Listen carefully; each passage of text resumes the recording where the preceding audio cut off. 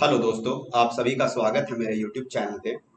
आज की इस वीडियो में हम एनसीएल यानी कि जो नॉर्दर्न कोलफील्ड लिमिटेड है, जो कि कोल इंडिया की एक सब्सिडरी है, उसमें अप्रेंटिस ट्रेनिंग के लिए जो वैकेंसी आई हुई है, उसके बारे में हम बात करने वाले हैं। सबसे पहले जो अप्रेंटिस की वैकेंसी है, ये आईटीआई वालों के लिए आ रही है, जैसे कि इलेक्ट्रिशियन के लिए हो गई वेल्डर के लिए हो गई, फिर फिटर के लिए हो गई, और ये कोल इंडिया की लगभग सब सब्सिडरीज में आ रही हैं। कि कोल इंडिया आजकल बहुत सारे आईटीआई वालों को अप्रेंटिस की जो ट्रेनिंग है, एक साल की, वो करवा रहा है।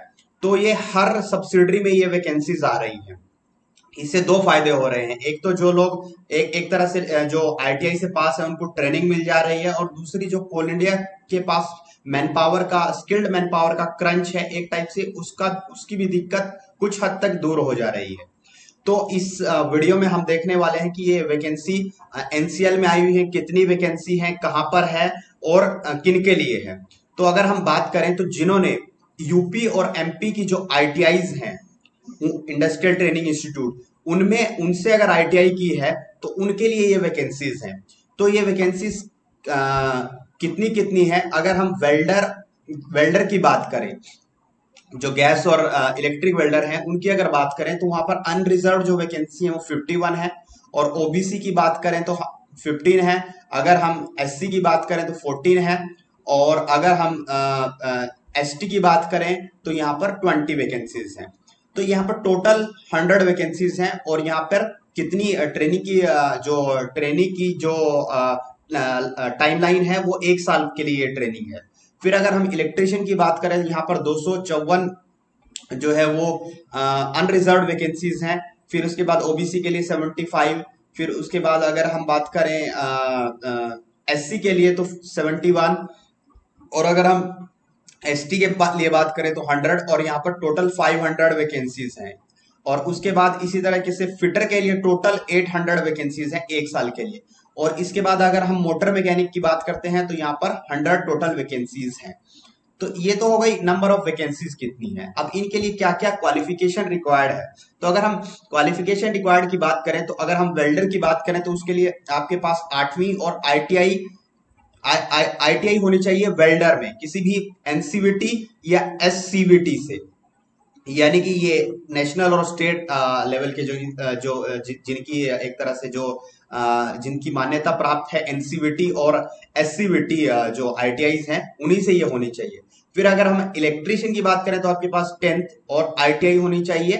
किसी भी एनसीवीटी या एससीवीटी जो यूपी और एमपी में जो आईटीआईज हैं, उनसे। फिर अगर फिटर की बात करें तो आपके पास टेंथ क्लास के साथ साथ आईटीआई होनी चाहिए फिटर ट्रेड में।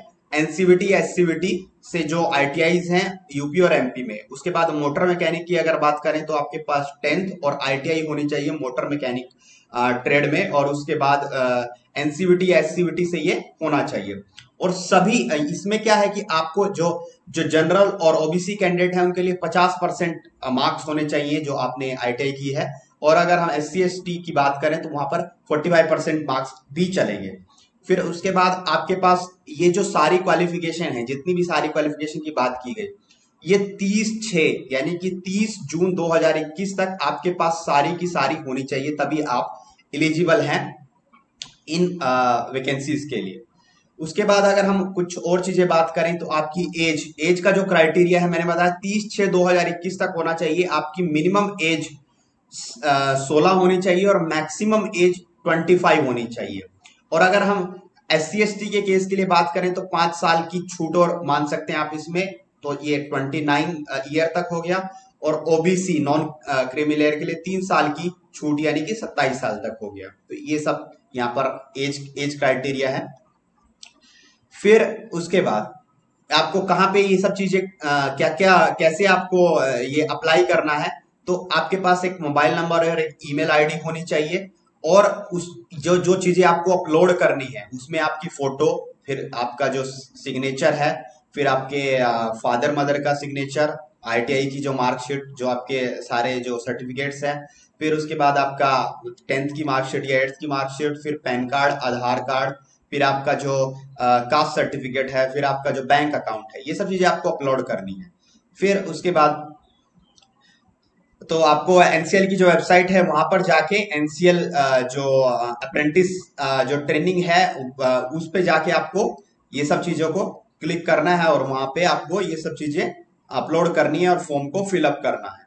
तो यही सब चीज़ें हैं इसमें और इसके अलावा आपको मैं आपको डेट बता देता हूँ कि कब तक आपको ये सब चीज़ें अपलोड कर देनी है। तो आपको जो ऑनलाइन जो अप्लाई करने की डेट है, वो स्टार्ट होगी दस छह दो हज़ार इक्कीस से और जो अप्लाई करने की एंड डेट है, वो 9 जुलाई और पाँच बजे तक है। तो ये आपको आप इन पे जा इस एनसीएल की जो वेबसाइट है, वहाँ पे जाके आप अप्लाई कर सकते हैं।